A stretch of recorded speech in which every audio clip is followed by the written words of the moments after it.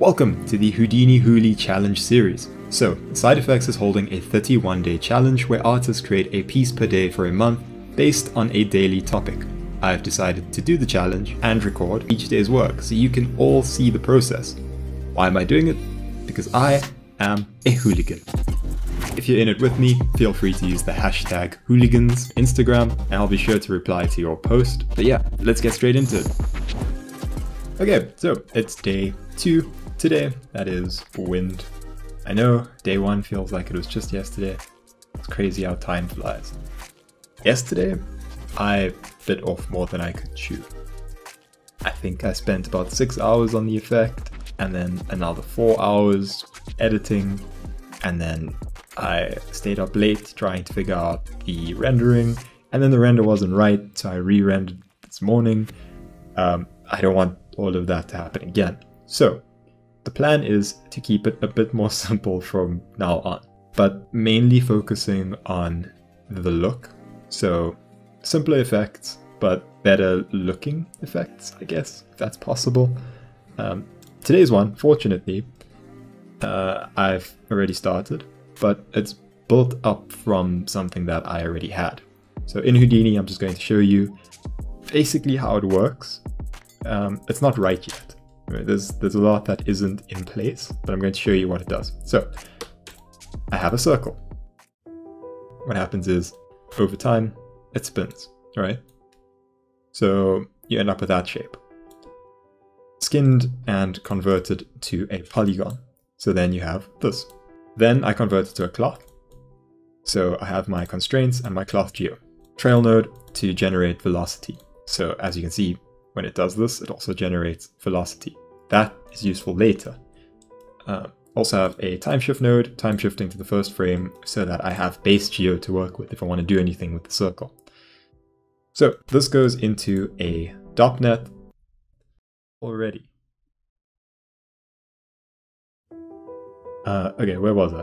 Yes, so I was showing you this over here, basic circle, right? So that goes into a DOPNet. So this DOPNet over here. And this DOPNet is quite simple in that um, my constraints are animated, right? I fetch the constraints and then with a subsolver, I adjust the shape of the constraints so that this thing pulls like this. And then I also transfer the velocity from this piece over here. So remember we have the velocity, I transfer it every frame onto the simulation, right? I also have some pop wind. Uh, I can't actually remember why. I think this is, oh, it's just for basic noise. Um, so you end up with some interesting shapes. And then that gets sent into the Vellum cloth cleaned. So as you can see, DOP input output, that's the Vellum cloth, Vellum object, Vellum IO, gets brought in. Um, this needs to get saved, so I save it out. Let's do, so I'll save that to disk. When it's cached out, you just have something like this. Um, quite an ugly simulation, actually. But you can see that it's being constrained into this position.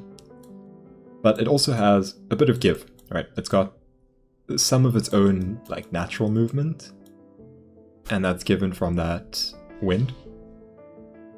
And so then you can post-process that to smooth it out so that it's not so ugly.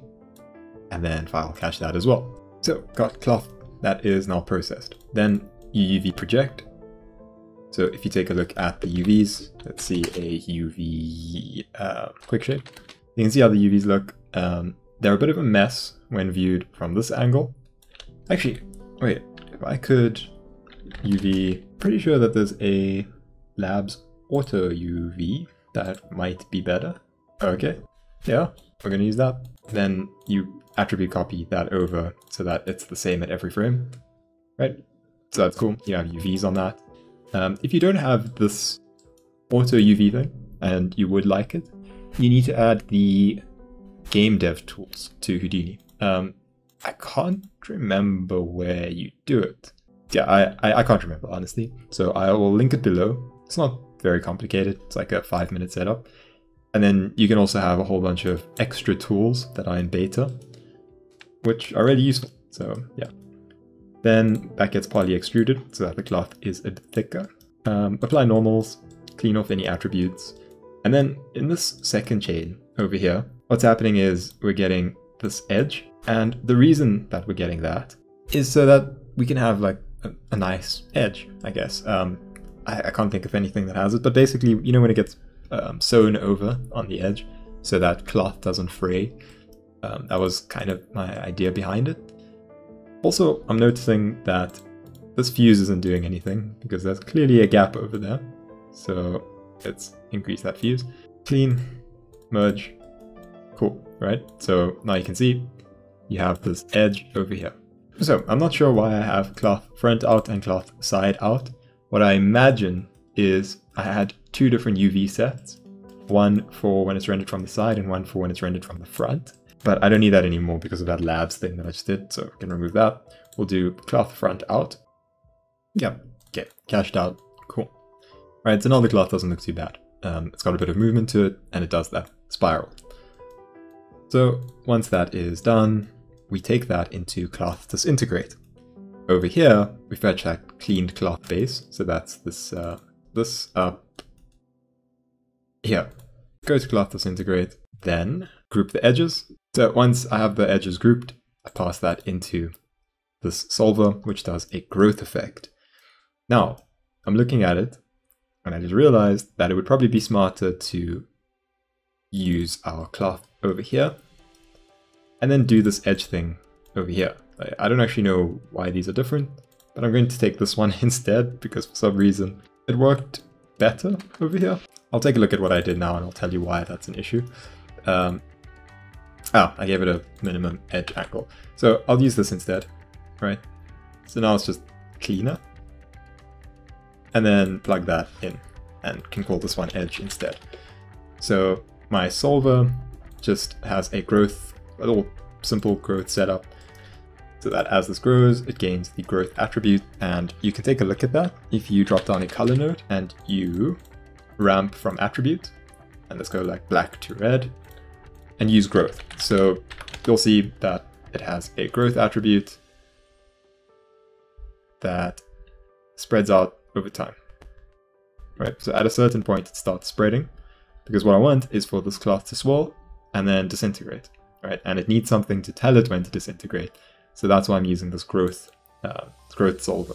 So on the other side of this, we have a point deform, and it's deforming the base cloth. So what I'm doing here, time shifting to the frame where I want the growth to start, remeshing it, and then fracturing, right? So you can use an exploded view over here, and you can see how it's fractured, right, into all these little pieces. And it's quite a nice fracture, uh, it's not very uniform, and it's because I used the curve. So you can see the curve is just basically a mess, but it works. Uh, and then you pass that into an edge fracture, point deform those pieces, right? So this is still fractured. And if you take a look at the exploded view, you can see that it's fractured, but it keeps the animation, which is really cool. So you transfer the growth onto that. Vellum cloth. So now I have some cloth um, weld them together based on those fractures. And it just connects everything. So everything gets connected, you have your constraints that go out, they're time shifted to be clamped to 144. Remember, we cached out to 144. And if your simulation goes past 144 and you don't have a clamp, you can actually take a look at what that does. You go to 144. Please don't crash, Houdini. I know you, you've been giving me a heartache recently, but um, just do, do this, this once. Okay, I'm actually going to save before I do that. So you go past 144 and you see you have an error, right? Because past 144 nothing exists. So you switch on your time shift and it gets clamped. So the last frame exists past that point. So that's useful, useful tip if your geometry actually ends at a certain point or you only have a certain amount cached. Okay, so that cloth disintegrate, you end up with geo and constraints. That goes into a vellum disintegrate. Um, I have a pop object set up over here. This was when I was testing for um, turning this into like a glitter, so like an explosive effect at the end. And then from here, what this does is it runs that same cloth sim, right? So it's like pretty much exactly the same. It's close, it's not exact. And over here, I have my constraints, and I'm copying over the attribute. Uh, actually, not copying anything over. I don't actually know what's going on there. Um, we'll find out shortly. But anyways, so as this goes, I do believe I should have like an attribute, yeah, attribute wrangle. So if growth is greater than zero and frame is greater than 48, then do these things, right? So glue to animation, it no longer follows the animation. At stop, it's now free to basically simulate. And then break threshold, I set to zero, so it starts breaking up. And that's only when growth is greater than zero. So I'm passing on that growth attribute. So as that growth affects it, it should start disintegrating. So we go to cloth disintegrate. Uh, oh, no, sorry, we go to cloth out. And over on the side, I have the DOP input output, and then save that to disk. So now we're going to frame 240, right? Um, because it was until 144 because I just needed that base animation. But after this, we have the fracture. And I, actually, there was something I didn't mention, but there is a pop axis force. So the fractures start swirling around and it's animated so that the swirling is kind of interesting. Right, so that's simulated. End up with that. Right, so now it goes like this, fractures. File cache, very unnecessary, I don't even know why I have it yet. I'm gonna remove this one. UV project, which is probably also unnecessary. Uh, okay, so what I'm gonna do is I'm gonna do the UV labs thing. So UV labs auto UV. Yeah, this is probably fine. Okay, so we'll use this. And then this goes into post process, so it gets smoothed out. That gets fed into this over here, transform the UVs down a bit, I believe. Yeah. And then clean them, clean off attributes, group anything that's broken off. So you'll see that when it reaches this point, those get added to the group. So then the idea is the ones not in the group will get one material, the ones in the group will get another material. Um, and then over on this side, my plan is to do a particle kind of thing. So frame 174 is when I wanted to like turn into particles. They go to 174, and then I have a particle setup. So I source in the particles, there's a pop wind and a pop torque. Basically, it spins them and stuff. So then that gets fed into a pop solver. Now, what I'm thinking is that I wanted to just sort of poof, for, for lack of a better term, just poof, uh, just kind of disappear into nothing very quickly. And so I'll probably do some randomization on the p-scale thing over here.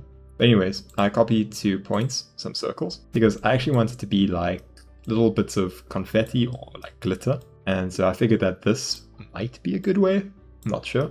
I don't have this cached out yet, but what happens is p-scale is keyframed. So it decreases over time so that this, when it turns into glitter, very quickly just disappears. What I do want over here though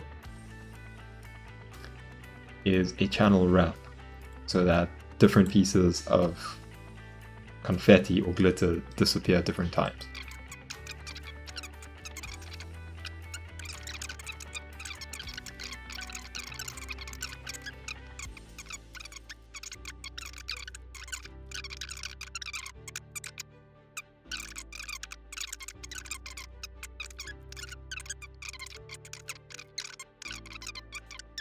And I'm actually going to need to cache this out for this to work. Hopefully you'll be able to see what this looks like. Oh, I have it reversed. So, yep, yep.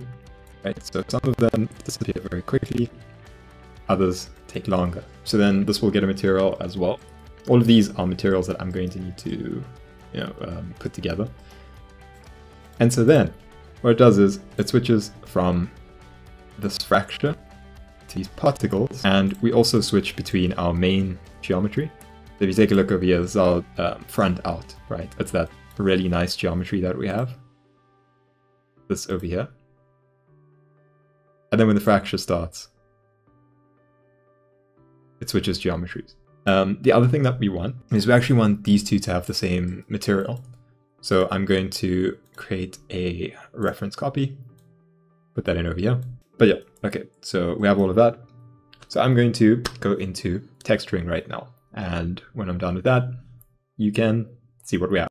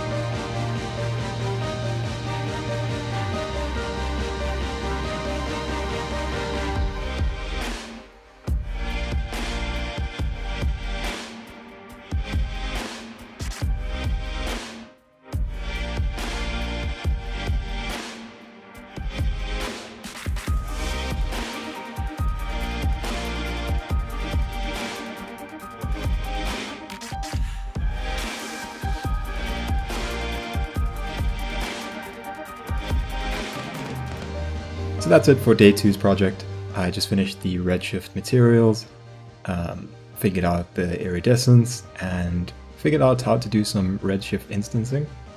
And so the final product looks like this. So once again, remember, if you want to join this challenge, uh, you can go over to the SideFX website and check out the Houly contest, H-O-U-L-Y. Um, there's a forum where you need to post all of your work. And then you can also post it on Instagram. And if you want to, you can mention us um, at 9 underscore between. And also you can use the hashtag HOULYGANS and I'll be able to see your work. That's H-O-U-L-Y-G-A-N-S. So thanks for watching and I'll see you tomorrow.